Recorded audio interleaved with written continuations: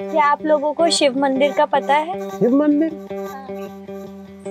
वो आज जो आप मंदिर पूछ रही हो रास्ता बड़ा ऐसे घुमा हुआ है तो हम लोग आपको छोड़ देते हैं बताओ। चलिए ठीक है अच्छा मैडम यहाँ से लेफ़्ट